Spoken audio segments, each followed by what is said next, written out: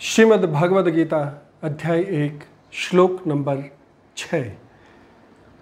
युद्ध मनुष्य विक्रांत उत्मोजश्च वीर्यवान, सौभद्रो द्रौपदेयाश्च सर्व एव महारथ। इसका श्री हरि गीता में हिंदी में रूपांतरण किया गया है कि श्री उत्तमोजा योधा मन्यु प्रक्रमी वर वीर है। सौभद्र सारे द्रौपदेय महारथी रणधीर है।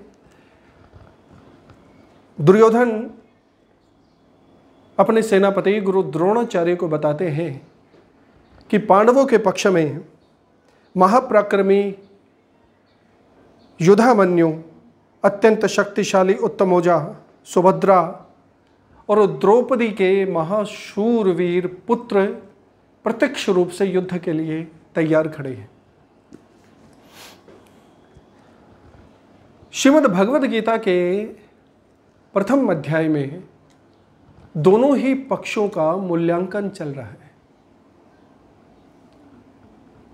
संजय जिस प्रकार बताते हैं कि दुर्योधन गुरु द्रोणाचार्य को पांडवों के पक्ष के बारे में कि वहाँ कितने कितने वीर योद्धा हैं, कितने बलशाली योद्धा हैं, उसके बारे में स्पष्ट बता रहे हैं। वास्तविकता क्या है? कि प्रथम अध्याय के प्रथम चरण में दोनों ही सेनाओं के जो सेनापति हैं, दोनों ही सेनाओं के योद्धा हैं, एक दूसरे का मूल्यांकन कर रहे हैं। अगर हम बड़ी गंभीरता से देखें तो एक शतरंज की बिसात, शतरंज की बाजी बिछाई जा चुकी है। और दोनों ही पक्षों के योद्धा अपने समक्ष, अपने प्रत्यक्ष, अपने समक्ष खड़े हुए विपक्षी योद्धाओं के बल के बारे में, उसकी शक्ति का मूल्यांकन कर रहे हैं, उनकी शक्ति का आकलन कर रहे हैं। शतरंज की बाजी का भाव समझते हैं। वास्तव में ही शतरंज की बाजी बिछाई जा चुकी है। दोनों ही पक्ष के वीर योद्धा, चाहे वो प्यादा हो, चाहे वो अश्व हो, चाहे वो गज हो, चाहे वो सिंह हो सब के सब इतने बलशाली हैं कि प्रत्यक्ष सामने वाले व्यक्ति को, सामने वाले योद्धा को समझ ही नहीं आ रहा कि कितने बलशाली होंगे।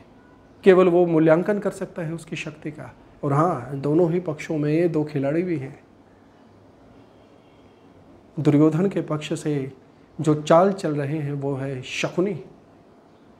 और पांडवों के पक्ष से जो उस खेल को खेल रहे हैं, वो है वासुदेव कृष्ण।